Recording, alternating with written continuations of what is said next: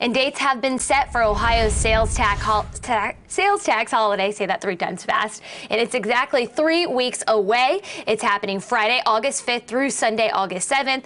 Both in store and online, certain items are exempt from sales tax to help families save money as they do their back to school shopping. Now, to be eligible, an item of clothing must be $75 or less.